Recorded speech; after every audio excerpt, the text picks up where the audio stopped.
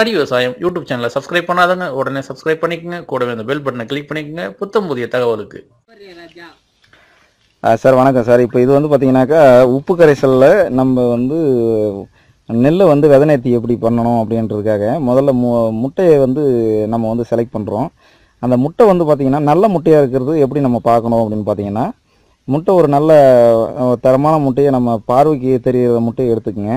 அது நல்ல முட்டையா இல்லையா அப்படின்றது ஒரு நம்ம எப்படி டெஸ்ட் பண்ணலாம் அப்படின்னு பார்த்தீங்கன்னா ஒரு சுத்தமான தண்ணியில் ஒரு முட்டையை போடுறோம் அப்படின்னா தரமான முட்டை நல்லா இருக்குது அப்படின்னா அது வந்து தண்ணியில் மூழ்கிடும். இப்போ உங்களுக்கு காட்டுறோம் பாருங்கள் இது ஒரு நல்ல முட்டையை நம்ம செலக்ட் பண்ணி வச்சுருக்கோம்.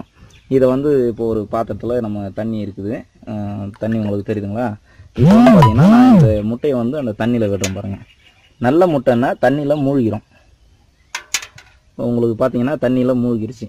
இதுவே வந்து கெட்டுப்போன முட்டை இல்லை நமக்கு ஏதாச்சும் ஒரு ஃப்ராக்சர் ஒரு உயரில் இருக்கிற முட்டை அப்படின்னா தண்ணியில் வந்து மிதக்கும். இது வந்து சுத்தமான முட்டை நல்லா இருக்குது இது வந்து பார்த்திங்கன்னா தண்ணியில் நமக்கு வந்து மூழ்கி இருக்குது இப்போ இந்த முட்டையை தான் நம்ம வந்து விதநேர்த்தி பண்ணுறதுக்காக நம்ம செலக்ட் பண்ணியிருக்கிற முட்டைங்க. அடுத்தது பார்த்தீங்கன்னா நம்ம வந்து உப்பு கரைசலுக்கு ஒரு வாய் அகலமாக இருக்கிற ஒரு அன்னக்கூடன்னு சொல்லுவோம் நம்ம. அந்த மாதிரி ஒரு அகலமான பாத்திரத்தை எடுத்துங்க அதில் வந்து பார்த்தீங்கன்னாக்கா நம்ம சுத்தமான கல் உப்பு நம்ம சாதாரண சமையலுக்கு பயன்படுத்துகிற கல் உப்பு வந்து அதில் வந்து போடுங்க. போட்டுருங்க. அது வந்து ஒரு நம்ம வந்து ஒரு ஒரு அஞ்சு கிலோ ஒரு ரெண்டு கிலோ மூணு கிலோ நம்ம அளவுக்கு தகுந்த மாதிரி எடுத்துக்கலாம். நம்ம பாத்திரத்தினுடைய அளவு சைஸுக்கு தகுந்த மாதிரி நம்ம வந்து எடுத்துக்கலாங்க. இப்போ அதில் நம்ம இப்போ வந்து நம்ம ஒரு ஒரு இது ஒரு கப்பில் வந்து உப்பு கொட்டியிருக்கோம்.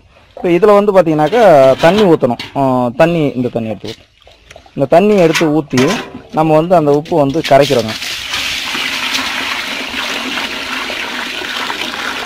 பார்த்தீங்கன்னாக்கா அந்த உப்பு போட்டு இந்த தண்ணியை வந்து நம்ம வந்து கரைக்கிறோம். கை வச்சு நல்லா கரைங்க. கரைச்சி அந்த தண்ணியில் முழுசாக அந்த வந்து அந்த உப்பு வந்து ஃபுல்லாக கரையணுங்க. இதை எடுத்துனுக்கிறோம்னு வச்சுக்கோ இப்போ இதை கொஞ்ச நேரம் லாக் பண்ணி எடுக்கணும்னா. அது உள்ள போற முட்டியை பார்த்துக்கோ அதுக்கப்புறம் கொட்டி அதுக்கப்புறம் இது பண்றது பார்த்து காட்டிக்கோ.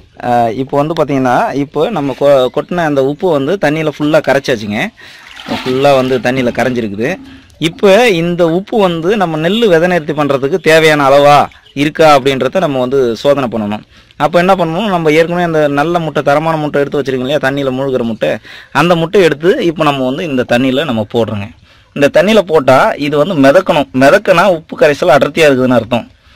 இல்லை நமக்கு வந்து முட்டை வந்து மூழ்குது அப்படின்னாக்கா நமக்கு வந்து உப்பு கரைசல் வந்து பத்தலை அப்படின்னு அர்த்தம். இப்போ பார்த்தீங்கன்னா நமக்கு முட்டை மிதக்குது ஆனால் குறைஞ்ச அளவில் மட்டும் மிதக்குது. இன்னும் முழுசாக வந்து மேலே வரல. இப்போ நம்ம வந்து என்ன பண்ணோம் இன்னும் கொஞ்சம் உப்பு நம்ம வந்து சேர்க்குறோம் இன்னும் கொஞ்சம் உப்பு போடணும். அந்த முட்டையை கையில் எடுத்துக்கணும். நம்ம இந்த முட்டையை எடுத்துக்கிறோம். இப்போ வந்து திரும்ப அதில் வந்து அந்த உப்பு உப்பு வந்து நம்ம இன்னும் போடுறோம் அதை நல்லா கரைங்க.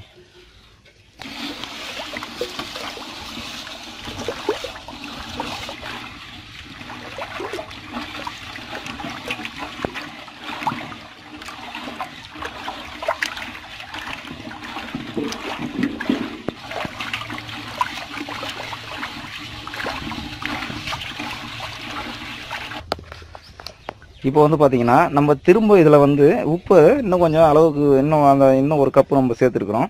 சேர்த்து நம்ம வந்து அதை வந்து தண்ணியில் கரைச்சிருக்கிறோம்.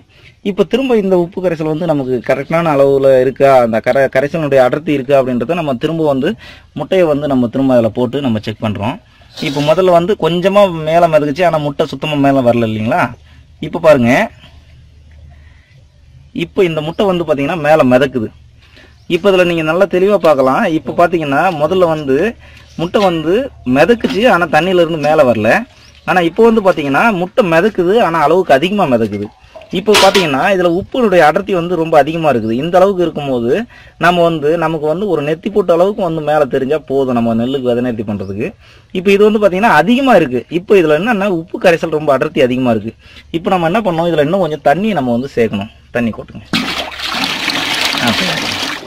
இப்போ கொஞ்சம் தண்ணியை கொடுத்து நம்ம அதை வந்து கலக்கிட்டு இப்போ திரும்ப வந்து நம்ம வந்து அந்த முட்டையை வந்து நம்ம மிதக்க விட்டு பார்க்கலாம் முன்னைக்கு இப்போ கொஞ்சம் குறைஞ்சிருக்கு. இன்னும் கொஞ்சம் தண்ணி கொடுங்க.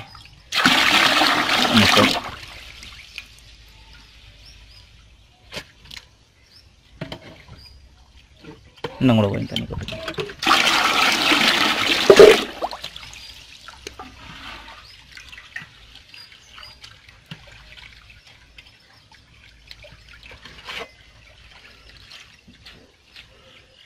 இப்போ உங்களுக்கு பார்க்கும்போது தெரியும். இப்போ முட்டை வந்து முன்னை விட இப்போ வந்து இன்னும் கொஞ்சம் வந்து நமக்கு தண்ணியில் மூழ்கி இருக்குது இப்போ வந்து பார்த்தீங்கன்னா உங்களுக்கு சரியாக ஒரு ஒரு நெத்தி போட்ட அளவுக்கு இல்லைன்னா நம்ம ஒரு ஒரு ரூபா பில் அளவுக்கு அந்த அளவுக்கு அந்த முட்டையினுடைய ஓடு வந்து மேலே தெரிஞ்சால் போதும். இது வந்து நமக்கு முட்டையினுடைய அந்த விதநேர்த்தி பண்ணுறதுக்கு உண்டான சரியான ஒரு அளவில் இப்போ உங்களுக்கு பார்த்தீங்கன்னா ஒரு ஒரு ரூபா அளவுக்கு இருக்குது உங்களுக்கு. இப்போ இந்த அளவு வந்து நமக்கு நெல்லுக்கு வந்து விதநேர்த்தி பண்ணுறதுக்கு உண்டான அந்த உப்பு கரைசல் தயாராக இருக்குன்னு எடுத்துக்கலாம். இப்போ இந்த முட்டையை வந்து நம்ம மேலே எடுத்து வச்சிடுறோம். இதில் வந்து நமக்கு தேவையான நெல்லை வந்து அதில் வந்து கொட்டுறோம்.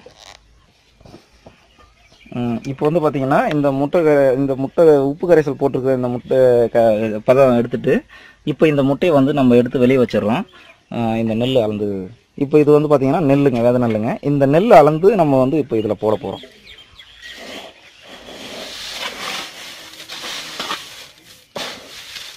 போதும் போதும்.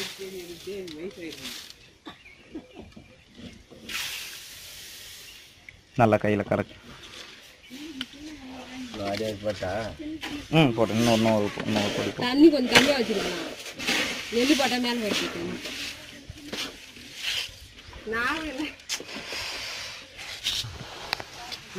இந்த இது பார்த்தீங்கன்னா இப்போ நம்ம வந்து அந்த உப்பு கரைசலில் வந்து போட்டு கரைச்சிருக்கிறோம். இப்போ வந்து பார்த்தீங்கன்னா இதில் வந்து மேலே வந்து மிதக்குது பார்த்தீங்களா இந்த நெல்லுலாம் வந்து தரம் இல்லாத நெல்லுங்க. பதறு அந்த பாதி முத்தனது அந்த மாதிரி இருக்கிற நெல்லுலாம் வந்து பார்த்திங்கன்னா இந்த மாதிரி நம்ம அந்த அரிசி சலிக்கிற சல்லடையில் வந்து நம்ம வந்து எடுத்துடலாம். மேலே எடுத்துட்டோம் அப்படின்னா இதில் தரமாக உள்ளே போயிட்டு வந்து மூழ்கி முக்கி இருக்கிற நெல் மட்டும்தான் நமக்கு வந்து தேவையான நமக்கு தரமாக இருக்கிற நெல். இந்த மிளகாப்பில் இருக்கிறது எல்லாத்தையும் நம்ம வந்து இந்த மாதிரி வந்து அதை அப்புறப்படுத்தி எடுத்துட்டு இந்த உள்ள மூழ்கி இருக்கிற அந்த நெல்லை மட்டும் வந்து பார்த்திங்கன்னா நம்ம எடுத்தோம்னா அதுதான் நமக்கு வந்து தரமான நெல். இதில் வந்து பார்த்திங்கன்னா எதுக்கு நம்ம இந்த மாதிரி பண்ணுறோம் அப்படின்னு பார்த்தீங்கன்னா நமக்கு வந்து மேலாப்பில் பார்க்கறதுக்கு மேலோட்டமாக பார்த்தோம்னா எல்லா நெல்லும் தரமாக இருக்கிற மாதிரி ஒரு இது இருக்கும். ஆனால் அதனுடைய தரம் பார்த்திங்கன்னா எண்பது சதவீதம் எழுபத்தஞ்சி சதவீதம் முத்தின நெல் கூட நமக்கு பார்க்கறதுக்கு முழுமையாக தான் தெரியும். ஆனால் இந்த மாதிரி உப்பு கரைசலில் போடும்போது பார்த்தீங்கன்னா நமக்கு தொண்ணூத்தஞ்சு பர்சன்ட் முத்தி இருக்கிற நெல் ஒரு அஞ்சு சதவீதம் முத்தலை அப்படின்னா கூட அது வந்து தரம் இல்லைன்னா கூட அந்த நெல்லை வந்து மேலே மிதைக்கிறோம். நூறு சதவீதம் முழுமையாக முத்தி இருக்கிற நெல் மட்டும்தான் உள்ளே போய் மூழ்கும். இதனால் வந்து பார்த்திங்கன்னா நமக்கு முளைத்துப்பு திறன் வந்து பார்த்தீங்கன்னாக்கா எல்லாம் ஒரே சீராக இருக்கும். நோய் எதிர்ப்பு சக்தியிலேருந்து அதனுடைய வளர்ச்சி வரைக்கும் ஒரே சீராக இருக்கும். அந்த மாதிரி இருக்கிறதுக்காக தான் நம்ம இந்த மெத்தட் பண்ணுறோங்க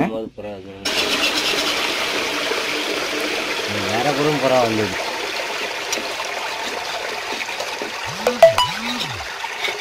ஊற்றுங்க ஊற்றுங்க எண்ணெய் ஃபுல்லாக ஊற்றுங்க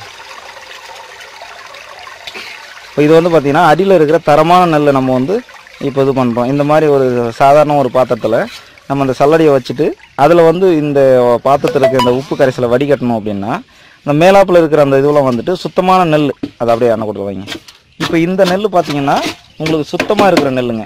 இப்போ இது வந்து பார்த்திங்கன்னா உங்களுக்கு தரமான நெல். இந்த நெல் தான் நமக்கு விதைக்கு தேவைப்படுறது. இப்போ நம்ம இந்த நாட்டங்கால் பண்ணும்போது மேட்டுப்பாத்திலையோ மற்ற மற்ற நாட்டங்கள்லையோ இந்த செம்மை நெல் சாகுபடியிலையோ பண்ணும்போது நம்ம என்ன சொல்லுவோம்? ஏக்கருக்கு ரெண்டு கிலோ வெல் நெல்லுலேருந்து எட்டு கிலோ நெல் வரைக்கும் நேரடி விதைப்பு வரைக்கும் எட்டு கிலோ நெல் வரைக்கும் சொல்லுவோம். ஆனால் அது எந்த நெல்லுனா இப்போ இந்த வடிகட்டி தரமாக வச்சுருக்கோம் பார்த்தீங்களா இந்த நெல் தான் நமக்கு தேவையான முழுமையான நெல் இப்போ இந்த நெல்லில் தான் நமக்கு ரெண்டு கிலோ இருந்தால் ஒரு ஏக்கருக்கு நம்ம ஒற்றை நாட்டு முறையிலையோ அந்த மற்ற முறைகளை நம்ம நடும்போது நமக்கு போதுமான நெல்லுன்றது. இப்போ நமக்கு விதை நெல்லினுடைய அளவு இந்த நெல் எவ்வளோ இருக்குதோ இதுதான் நமக்கு தேவையான அளவு தான்